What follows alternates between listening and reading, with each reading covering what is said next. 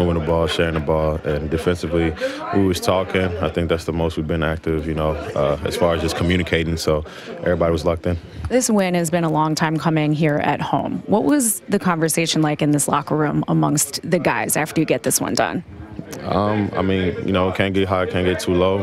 I mean, you know, coach, he's always about, you know, chopping the tree as he always talks about. So it's just, you know, one that we got. So we just got to keep moving, keep, you know, keep the momentum going offensively tonight, I mean, you had your rhythm going on. This is two games in a row where you've been super aggressive coming off of that injury. How have you, how are you feeling, and how have you been able to find your stride so quickly here after missing a month? I mean, that, you know, shout out to our, you know, strength and conditioning guys, Bar, Shimon, also our assistant coaches. You know, Caleb. I worked with him a lot. Um, so just try to stay, you know, uh, as more game feel type of rhythm as I could during the, uh, the time I was out. But kind of, you know, coach still kind of working my way, you know, in there. And the more I get out there, the more I'm gonna start feeling more and more better.